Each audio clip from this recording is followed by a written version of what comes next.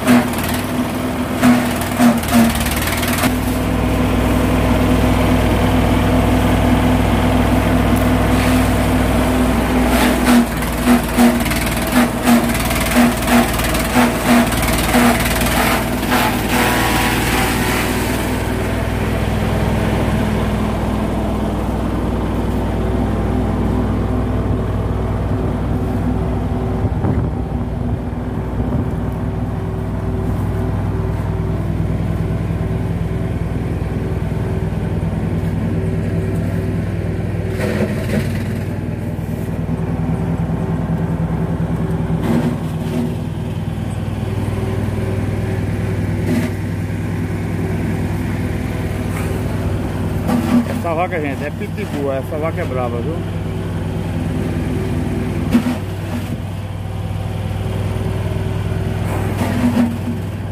Só tem ela brava mesmo assim. Mas só comigo. Povo de fora.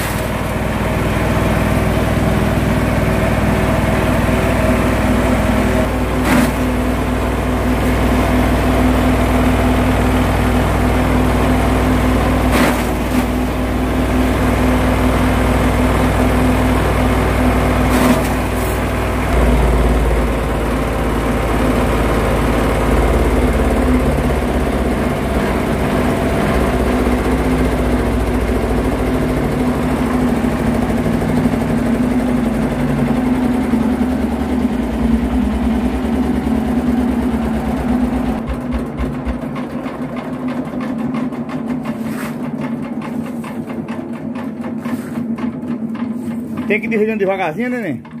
É, porque cara nem pode ligar ele de, de acelerado demais, nem pode desligar acelerado, sabe? É, né? É. É igual a carro, moto, mesma coisa.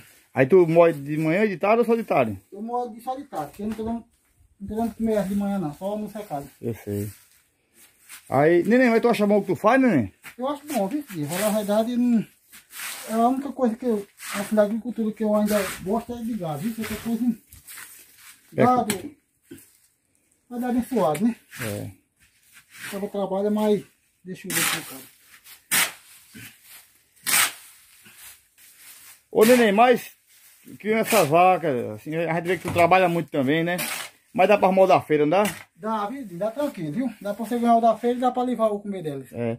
Aí você aconselha que alguém crie vaca também? Eu aconselho que eu dei a única coisa aqui na, na, no setor da gente é criar gado, né? Plantar palma e criar gado. Não tem outra, outra renda melhor, não. E nem, nem combinei com você pra perguntar, mas qual é a raça de vaca que você acha melhor criar? Rapaz, a raça melhor criar essas que eu tenho aí. É Geolanda, Gessolanda e holandesa. As três raças melhor que tem. Que eu as, acho. as três melhor, das três melhor, né? É, que eu acho, da minha parte. Contar das três, qual é que você acha melhor? Das três o quê? Das três raças. A melhor é a holandesa mesmo. A holandesa, né? É, melhor assim. É, eu também, eu também penso assim. É. Porque a- é muito. Aqui no terreno eu disse um cara, rapaz, a vaca de neném, sem comer, sem nada direito, não era assim que você mesmo mostrava a mim, não era? É. Nós andando aqui no roçado nós vimos, sem comer, e você nessa vaca né, é, princ- baú, princesa É de João do Ó. Você tirava quase 30 litros de leite no dia, né? Tirava, tirava. Imagina uma vaca dessa numa sombra direto, É, essa- numa cocheira, né, O neném? teto dessa vaca minha agora é o seguinte, é porque eu tô economizando pra frente, tá entendendo? Eu sei. Aí tem um pastinho secado, a gente bota pra aproveitar. De manhã, de tarde a gente traz e bota na cocheira. É. Só de tarde, só como de tarde essa ração aqui. É isso aí. Aí, e uma vaca dessa na quintura daquela que tava fazendo, É. ia deu- dava quase 30 litros de leite nas, Eu, nas eu acredito que uma vaca dessa tendo bem tratada, tudo me passa de 30 litros. É, O problema do baú é, é uns 36 litros, 37. baú, né? É. E essa peça que eu comprei a Henrique, eu tenho certeza que ela chega uns 26 litros no trato. Tu sabe se pegar essa tua vaca baú aí e der uma ração, ver que nem João do faz, e botar num, num canto assim, que ela não leve só à tarde, sabe? Que nem eu vi no Globo Rural. Tu sabe que ela pode chegar a 40 litros? É, a genética dela Dinho, é pra isso. É, né? É. E além ser uma vaca grande, é, o ubro é grande, né? É. Eu tenho tudo pra, pra chegar e chegar aí. Agora só que na minha mão não tem como chegar, né? Porque eu não tenho esse. esse- E a azeia da barriga dela dá gosto daquelas mangueiras pretas de irrigação, né? É, O que eu tô dizendo aqui que é a sua vaca, pro pessoal depois dizer pidinho exagerando, mas não é não? é verdade. É, é. A vezes- dela é bem exagerada. Dá de uma pá dessa, tem a. De um cabo desse aí. Mas do cabo não, neném, pera aí. O Né? cabo é pode olhar, olha ali. Olha aqui, olha, claro. Eu vou mostrar aqui, ó. Olha a vaca aí. Ô Vitor, tu trouxe essas vacas pra outro lado? Vitor?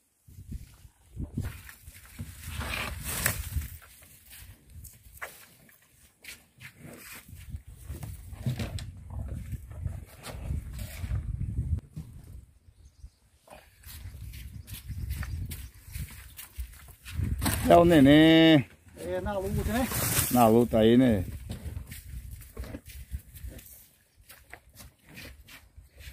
Ó, gente, palma e capim moído junto.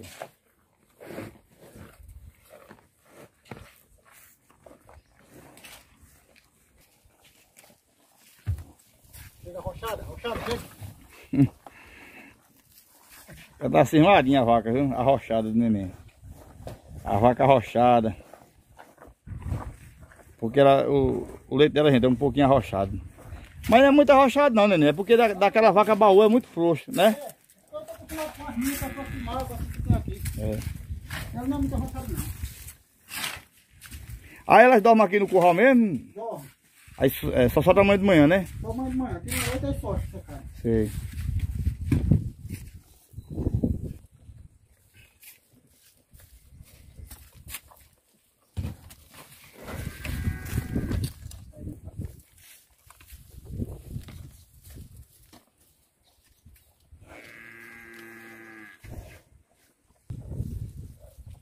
Dá quantos caixotes mais ou menos, neném?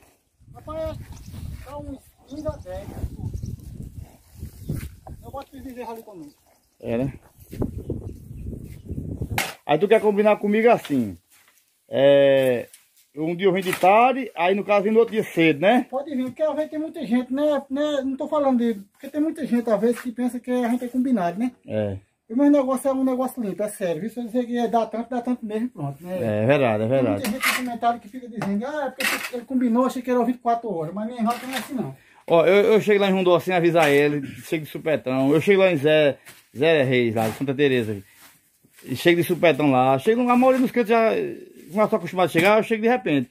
Tu só avisa na hora que eu vou sair de casa, né? Porque é longe. eu- é porque eu parei de ven- de vender vaca agora. Mas quando eu vendo vaca, eu mando o cara vir duas vezes no meu curral. Tirar o leite de manhã e de tarde. É, que é o certo, Só né? vendo neném? assim, só vendo vaca assim, garantido. Não vendo sem ser garantido, não. É isso aí. Neném é igual a vaca, neném é arrochado. Não brinca em serviço, não.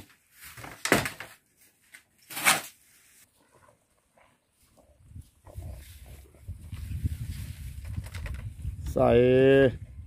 Gente, para ver esses vídeos, se inscreva no canal de Universo, deixa o like e compartilhe. E vídeo selvagem. E vídeo selvagem. Tá. Tá ficando esperto. Aí eu vou fazer os vídeos aqui, mas eu vou fazer um vídeo sobre umas abóbora e mostrar ele dentro com meus bezerros, senão o vídeo fica grande. Aí eu vou botar no canal de Vídeo Selvagem esse outro vídeo, viu gente? E valeu e fiquem todos com Deus.